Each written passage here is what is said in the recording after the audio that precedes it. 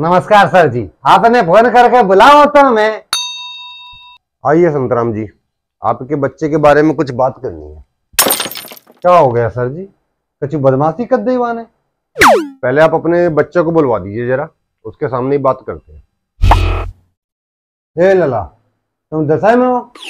बेटा यही क्लास में हम मोड़ा पढ़त है? अग्नेश मिश्रा भाई ने टेप दिए। बुला दो सर आ रहो इस नाम का तो कोई बच्चा नहीं है अंकल।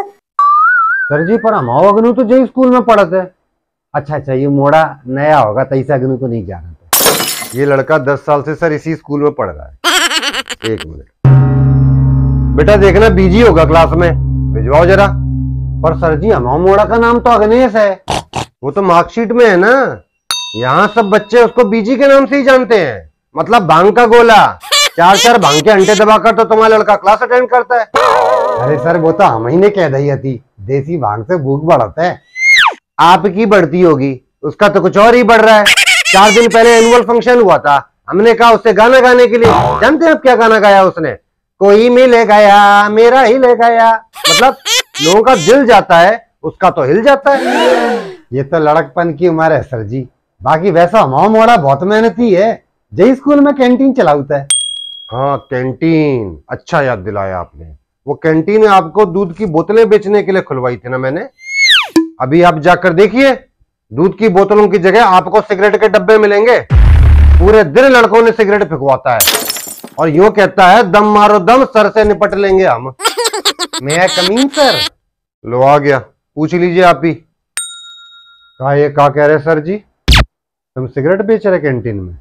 बापू बा में मुनाफा ज़्यादा है। और लड़का भी तो बही मांगत है, हम क्या करें? और अगर किसी को सिगरेट ना पीनी हो तो? तो सर जी, हमने बिंडल और खैनी मंगवा ली है। बोले, टाइट व्यवस्था है अपने पास। वाह, बहुत बढ़िया बेटा, वाह।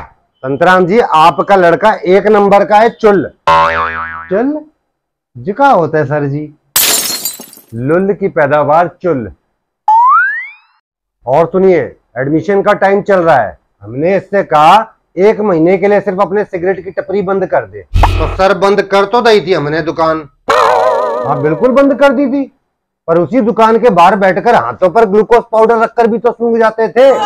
जो पेरेंट्स तो इन्हें देखकर भाग गए कि यहाँ के लड़के तो ड्रग्स लेते।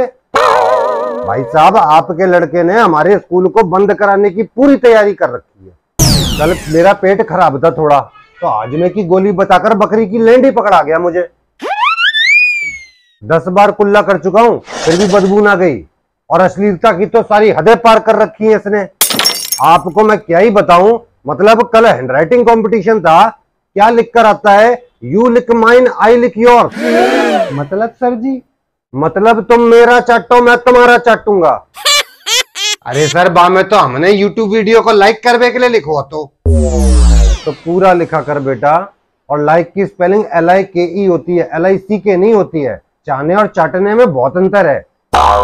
कई जय सब के लिए हमने तो स्कूल भेजो है। ये तो मैंने सिर्फ़ इनकी एक्स्ट्रा क्यूरिकुलर एक्टिविटी बताई है आपको, संतराम जी। बाकी एकेडमिक्स का तो पूछिए ही मत। पेपर देना जरा अपने ये। दस दिन पहले इनको हॉलीडे होमवर्क के लिए आर्टिकल दिया था। नेचर पे आर्टिकल लिखने को कहा था। आर्टिकल का टाइटल व्यक्ति ने क्या लिखा है? टट्टी के रंग। मतलब नीली टट्टी, हरी टट्टी, पीली टट्टी, हर तरीके की टट्टी और तब हेडिंग डाली है फ्लेवर ऑफ़ टट्टी, धनिया वाली टट्टी, पुदीने वाली टट्टी साइंस की टट्टी। साइंस की टट्टी? वो कैसी होती है सर जी? मैं बताता हूँ। बेटा बताना जरा why stars are twinkling at night sir ji in the night due to डर द पोन्ड ऑफ़ स्टार कुलकुलिंग, तई से कहते ट्विंकलिंग इसे कहते हैं साइंस की टट्टी। हमें माफ़ करिए संतराम जी, हम ना पढ़ा पाएँगे इस बच्चे को। हमने दस साल बहुत चटवा लिया। अब आप ही चटवाओ आगे मतलब पढ़ाओ। आप तो तू भैंसा का गोबर उठाएगा। घर चल